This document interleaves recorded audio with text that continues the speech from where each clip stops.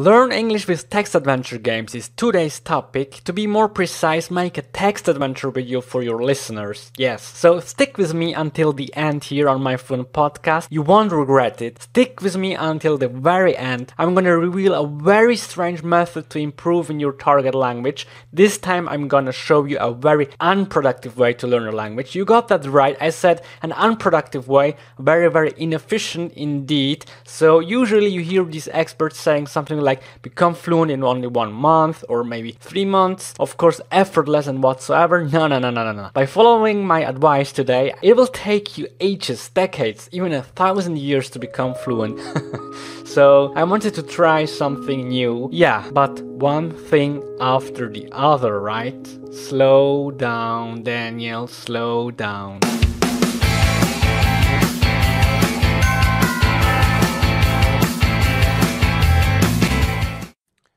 So now I'm gonna show you or explain to you what I meant by this method. So actually, in a nutshell, I tried to make a text adventure game to make a video out of it in which I am reading it out loud in order that you can learn from me, right?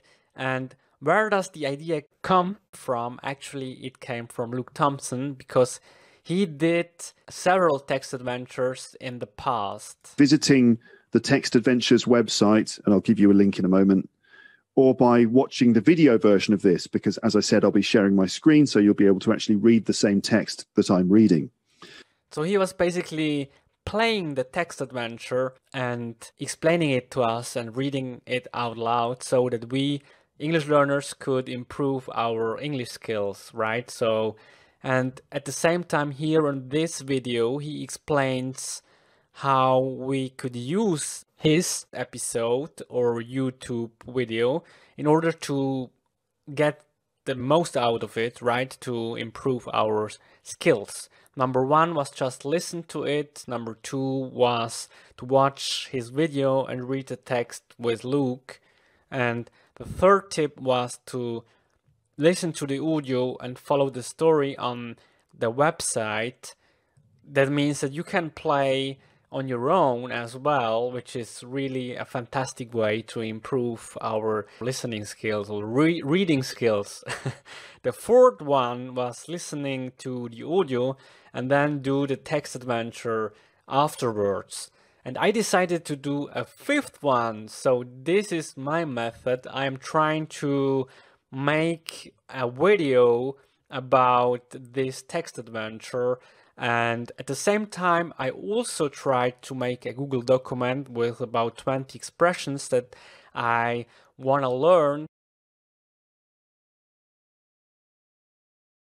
And you can do as well. I will put the link on my show notes and so without any further ado I will show you I will show you the results and I won't comment them.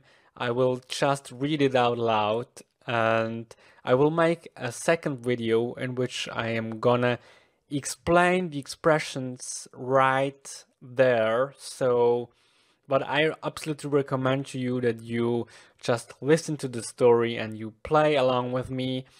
And of course, you can go to the website and play the game as well. So now, without any further ado, let's head directly to the game. So I think you don't need to, to see my face, so I'm gonna disappear here and as I said, I won't comment any words or something like that.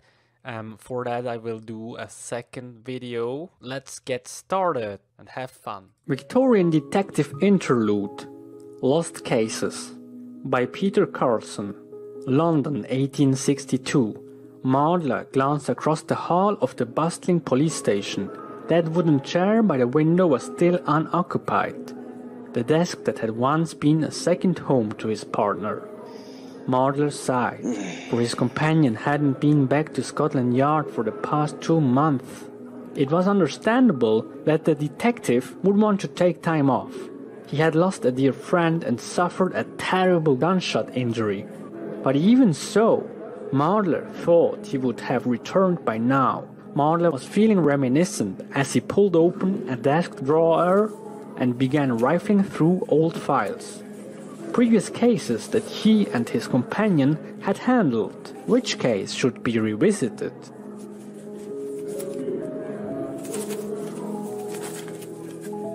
Yeah, this is a good question. The break, the unopened safe, the missing Masaccio. Well,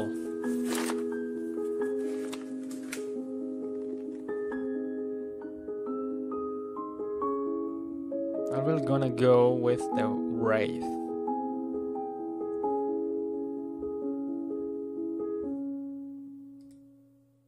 The Wraith. You chase the Wraith, a masked Londoner with three murders to his name, through a moonlit derelict warehouse. Stop! Behind you, you're backed by detectives Mardler, Jennings, Darby, Fleming, and Hertzman.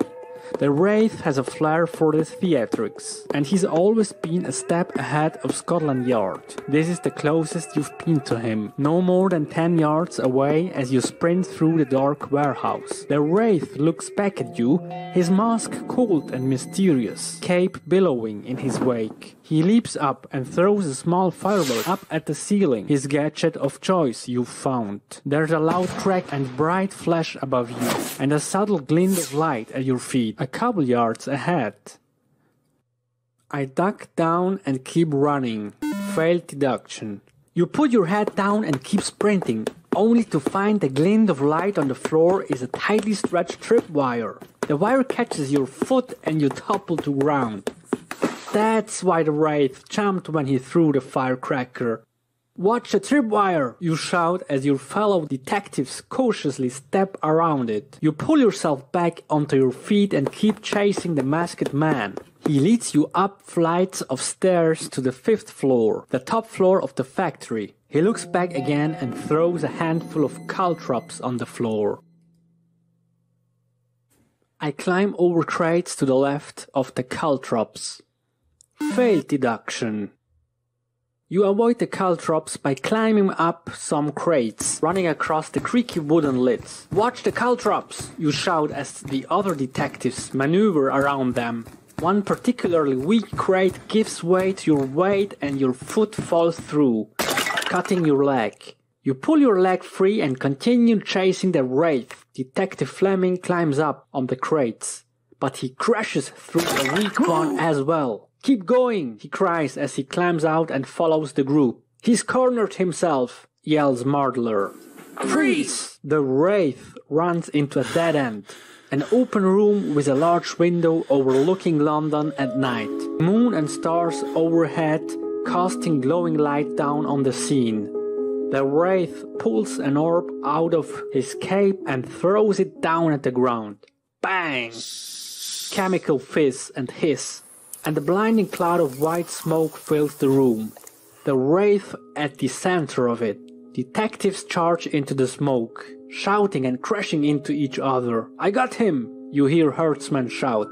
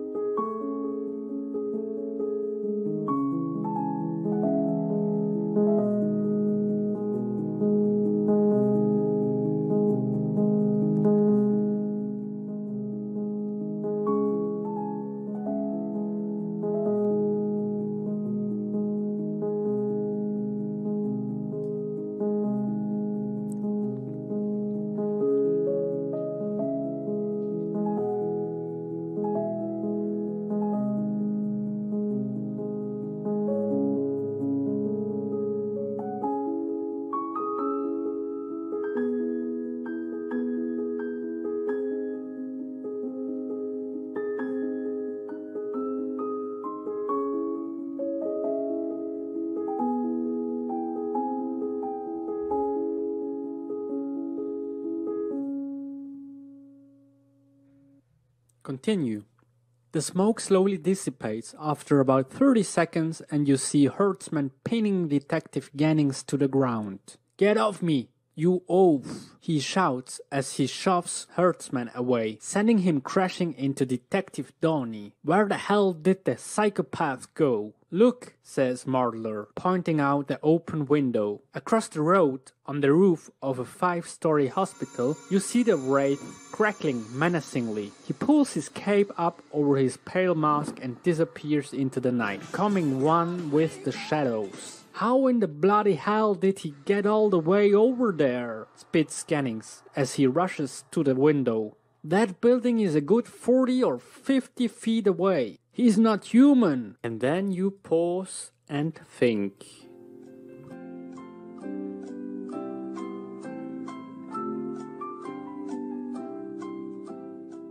There are two wraiths. Deduction success.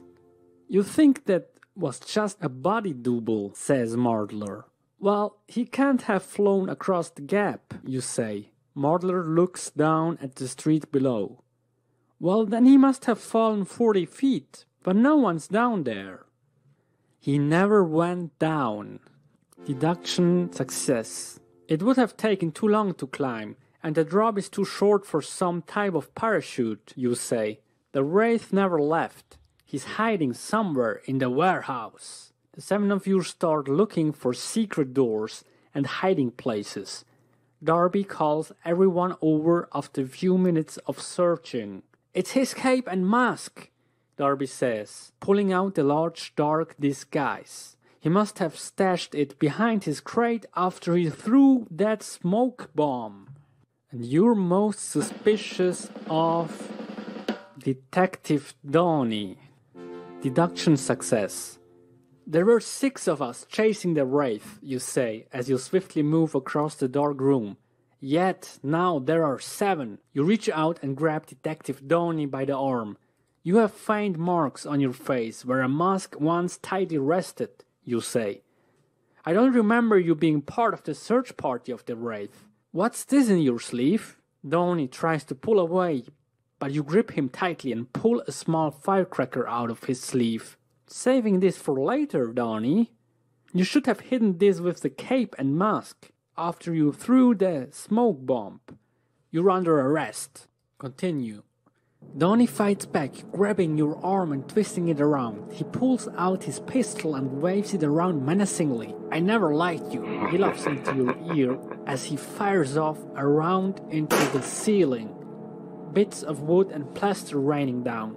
He yanks you close, using you as a human shield. Nobody move! He barks. I want everyone to put their guns on the floor. I'm in control here. Why are you doing this, Donny? says Darby. You're the Wraith? Just shut up! yells Donny. Guns on the ground, now!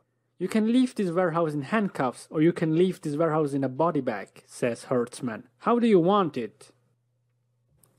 Headbutt Donny. Deduction success. Donny takes the barrel of his pistol off your temple for a moment and you strike. You lurch backward, slamming the back of your head against Donny's nose the sound of crunching bone echoing through the hollow warehouse. You spin around quick, grabbing down his arm and twisting his hand until the stunned detective drops his revolver. Wrestling Donis to the ground, you go from hostage to capture in a matter of seconds. The other detectives rush over and help pin Donny down as you stand and take a deep breath.